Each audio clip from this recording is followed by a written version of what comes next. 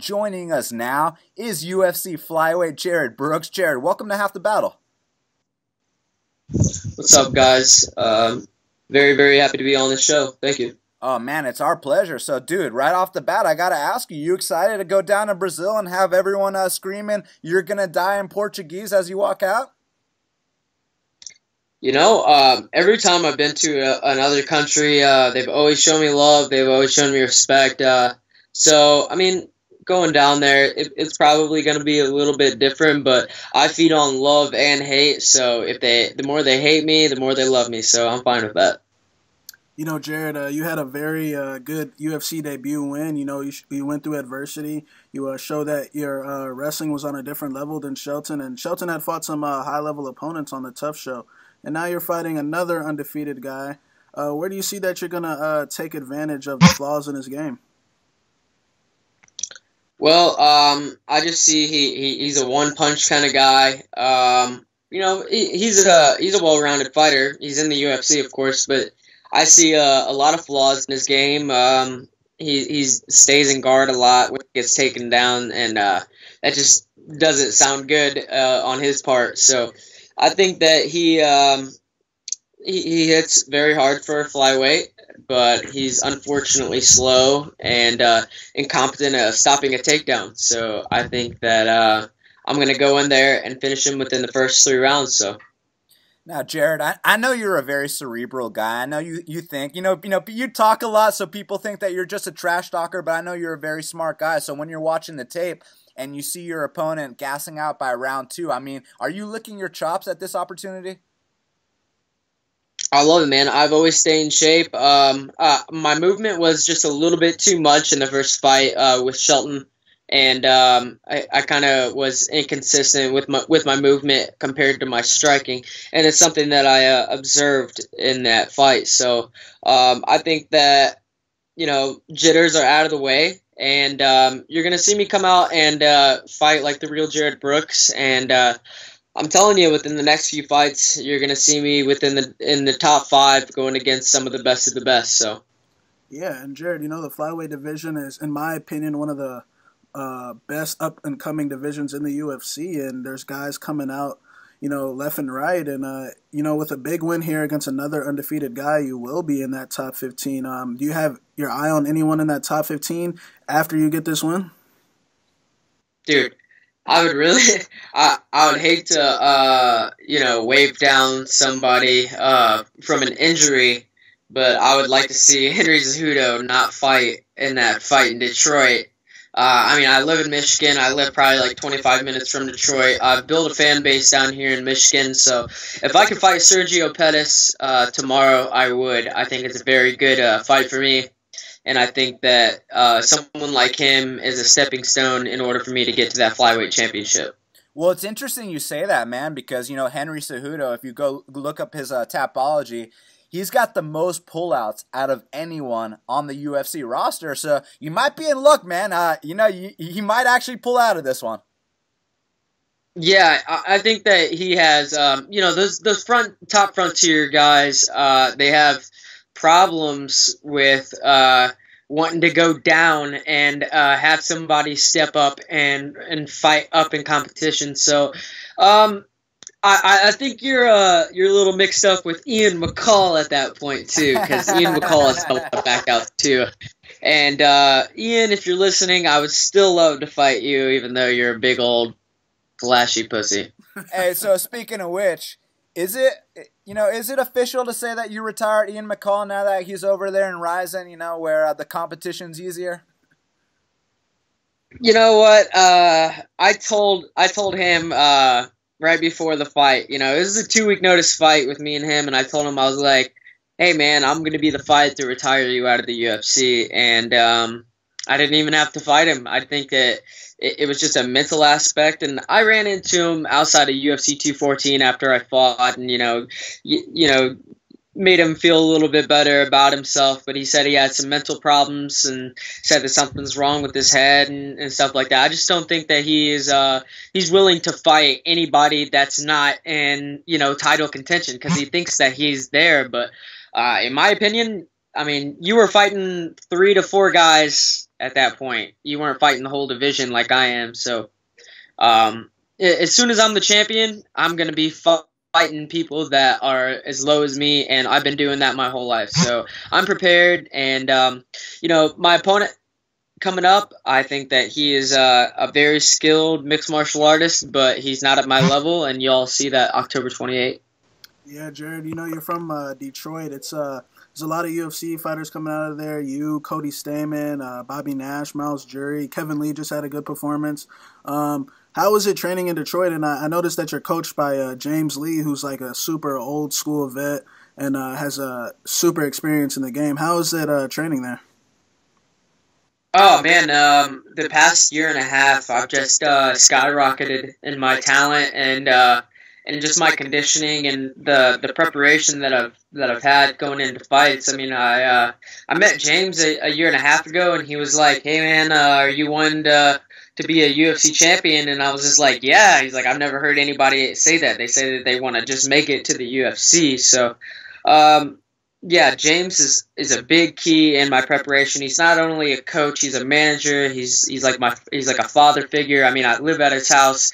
He always makes sure that I, I got some money in my pocket, even if I go broke, because you know how good the UFC pays us. So.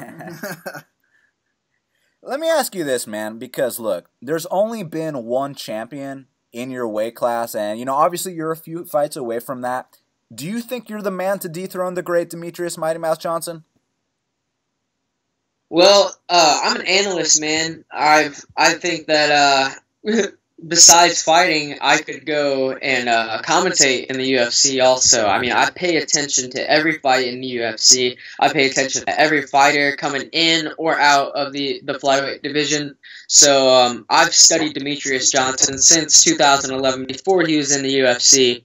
So um, I I'm going to fight exactly like Demetrious Johnson. I feel like that's the way to beat him because there's a lot of people out there that have such different uh, fighting styles, and there's nobody that can beat Demetrious but his own style. And I think that I can bring that to him.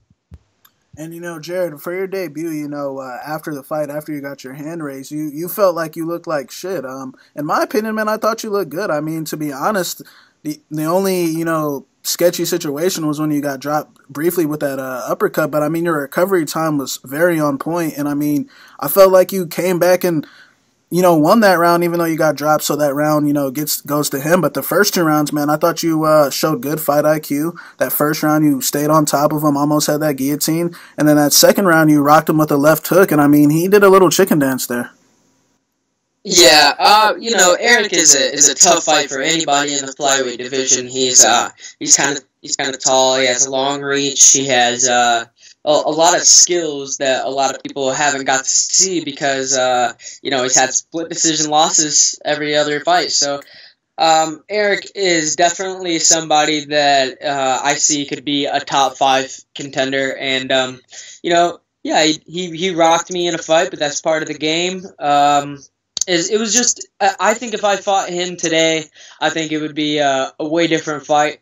And I, it just had a lot to do with the UFC jitters, you know, my dad being there, and you know, see, because this is not only my dream, this is my dad's dream also, and you know, just seeing him, it was just a very emotional experience. But now I'm going in there uh, with a reason to to want to be a, the flyweight champion of the world. So. You know, a lot of people don't realize that Eric Shelton's a super talented guy, and that fight. So you take him down, and you know, I know for a fact Eric Shelton knows how to wall walk. I know Eric Shelton knows how to push down the on the head and you know pull the leg out, get back up. You know he knows how to do those techniques. You made it that he wasn't able to do that. Where'd you learn how to wrestle like that? Dude, um, I got to give all, all my credit uh, in wrestling to my dad and my brother. I've never really been coached uh, besides anybody but them.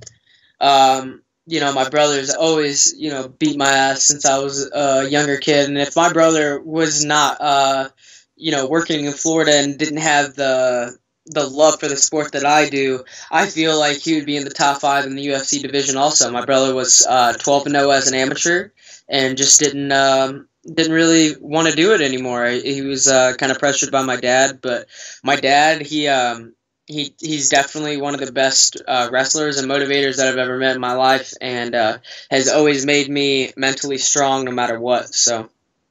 And you know, Jarred, it seems like every event now we have guys, you know, that are struggling to make weight or pulling out because they can't make weight. And I noticed that you have some fights at 115 pounds. So I'm assuming that a uh, flyweight cut isn't that bad for you. Literally, I'm probably about 131 right now, uh, top and wet, and that doesn't matter if I'm four months out or four weeks out. I'm usually around the same weight. Um, my my strength is my strength, man. I've um, you know grappling wise, I, I'm probably like a 160 pound man on top of somebody, but I only weigh about 130 to 125 pounds during the fight week. So um, yeah, I think that uh, I have a, a, lot of power compared to my weight, and um, you guys will see that October 28th. Now, I could be wrong, but it seems to me like you gravitate towards the wrestling more than the striking. However, your striking is still pretty damn good, man. I mean, do you think there's going to be some performances where you keep it standing the entire time, knock guys out, or outstrike them for three? Uh, like I said, it's just depending on who I'm fighting. If I'm fighting somebody like Eric Shelton, which is uh, primarily a striker, uh, Muay Thai guy being coached by Pete Spratt, somebody like Pete, um, I'm gonna take the dude down. I'm gonna make sure that he doesn't feel uh, comfortable on the feet compared to uh, being on the ground, also. But um, yeah, I, I, think that um, that I'll have some performances to where I, I, stay on the feet if I'm going against somebody like you know Hector Sandoval or you know even like Demetrious Johnson. Demetrious Johnson is primarily somebody that takes people down because he's small. You know what I'm saying? Um, just like myself. But um, yeah, if, if I were to fight Demetrious Johnson, I'd probably keep that standing. Now, uh, when you got the call for this fight, were you hoping to fight on the Detroit card instead, or you know, because it's a little more added pressure, or did you just you know relish the idea of going into another man's home country and beating him? Hey, whoever they put me up against, wherever I'm at, I'm completely fine and at home with it. Um, you know, I would love to fight in Detroit. I would love to have people from uh, my my home state come and uh, cheer me on and have that kind of energy. Also, um, I, I'm I'm still open. It's just depending on uh, this performance that I have right now. If I can finish the dude in the first round, I'm definitely gonna call out anybody in the flyweight division by Detroit. So um, yeah, I, am definitely glad that I'm fighting in Brazil. I've never been to Brazil, so um, yeah, I'm gonna go and uh, beat this dude in his home country, and then enjoy the the country for a couple days. Come back and get back to the drawing board like usual. Well, Jarred, it's going down. You versus Deiveson Alcantara. I know you're gonna take a win by any means necessary, but if it were up to you, how would this fight go down, Jarred? Well, um, the way I see the fight is, uh, you know, I'm gonna I'm gonna hit him with some feints take him to the ground, get him a little bit tired, and then uh, wait for those hands to go down in the second round and uh, knock him out. Well, Jarred, we want to thank you so much for taking the time to speak with us right here, right now on Half the Battle. It's been an absolute pleasure. Best of luck in Brazil. Let the audience know where they can follow you and any message for the fans. Go ahead, man. Yeah, man. Uh, one, thank you, Half the Battle, for having me. Uh, I appreciate it. And two, um, my name is the underscore monkey god on Instagram and Twitter. You can find me at Jarred Brooks. I'm not uh, verified on Facebook, but you guys can follow me. You guys can message me. Uh, I'm not one of those people that ignore people. So anytime that you guys want to hit me up, and ask questions, I'm available.